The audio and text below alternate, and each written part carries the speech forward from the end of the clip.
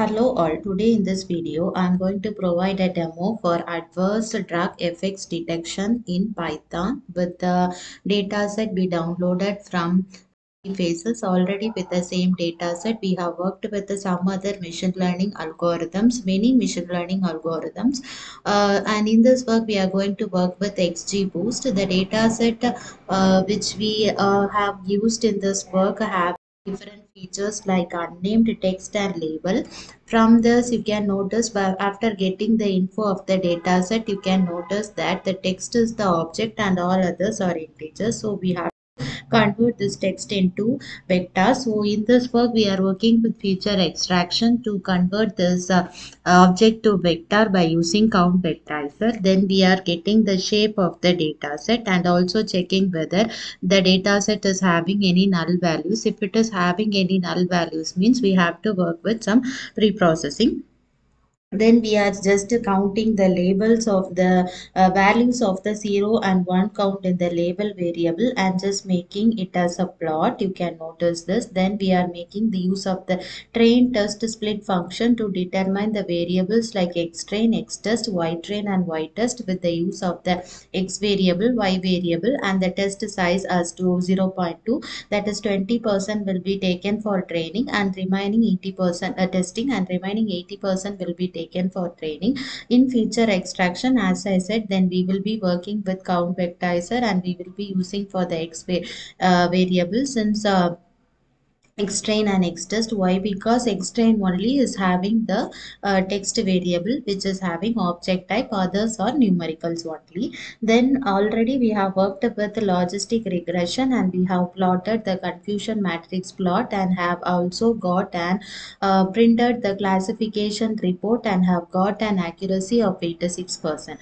Then we worked with the support and plotted the confusion matrix plot and printed the classification report parameters and have got an accuracy of 89%. Then we worked with the CatBoost classification and got plotted the confusion matrix plot and printed the classification report parameters and got an accuracy of 86%. Then we worked with passive aggressive classifier and plotted the confusion matrix plot and got printed the classification report parameters and got an accuracy of 80%. Then we worked with the random forest and plotted the confusion matrix plot and printed the classification report parameters and got an accuracy of 89%. Then we worked with the Naive and plotted the confusion matrix plot and printed the accuracy confusion uh, classification report parameters and got an accuracy of 81%. Then we worked with KNN and plotted the confusion matrix plot and printed the classification report parameters and got an accuracy of 78%. Then we worked with the decision uh, tree and got plotted the confusion matrix plot and printed the classification report report parameters uh, and uh, have got an accuracy of 84%. Then we worked with XGBoost. In this in this work, we are going to work with XGBoost. From this XGBoost, the only difference with every machine learning algorithms is the library. So initially, we are importing the library and calling the uh, function of our XG classifier within a variable. This variable we will be using for training and testing.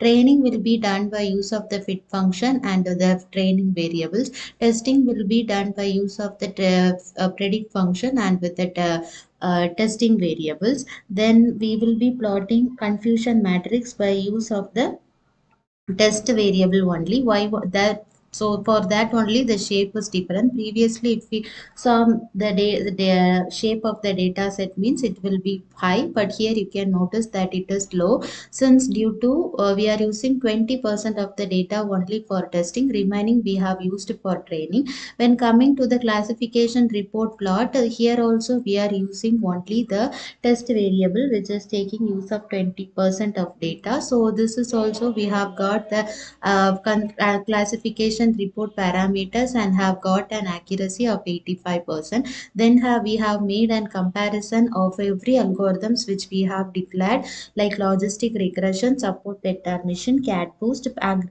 passive aggression random forest, naive Bayes, KNN, decision tree and the XGBoost algorithm which we implemented now.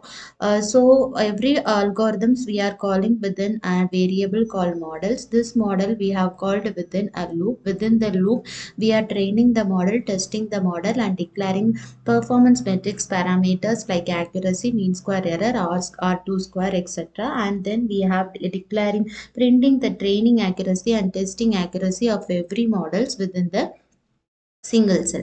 We can notice that the training accuracy and testing accuracy of every models is printed within the single cell.